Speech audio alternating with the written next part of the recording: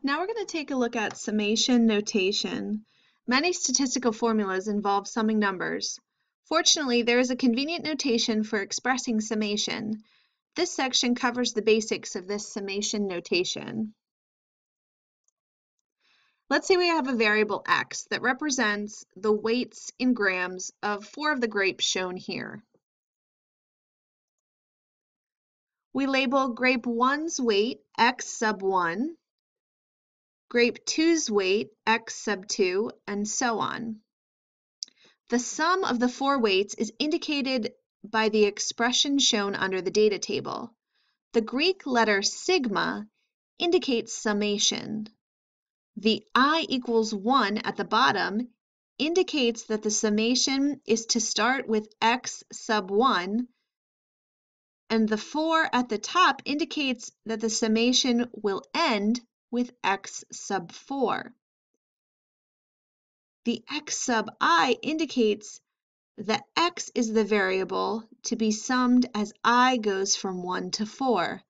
Therefore, the symbol means to sum x sub 1, which is 4.6, x sub 2, which is 5.1, x sub 3, which is 4.9, and x sub 4, 4.4.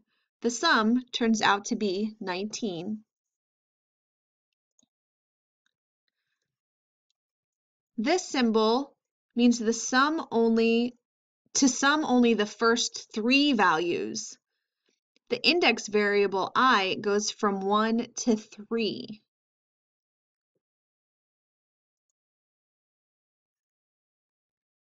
This symbol means to sum all the values of x. When no values of i are shown, it means to sum all the values.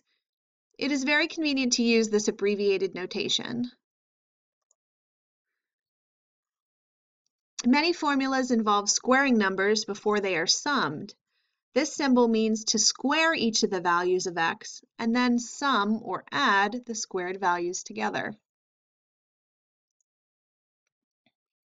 It makes a difference whether you sum the values and then square them or square them and then sum them. The expression on the left of the middle line means to sum up all the values of x and then square the sum, 19 squared equals 381. The expression on the bottom line means to square the numbers and then sum the squares, 90.54 as shown here. Some formulas involve the sum of cross products. The table shows the data for variables x and y.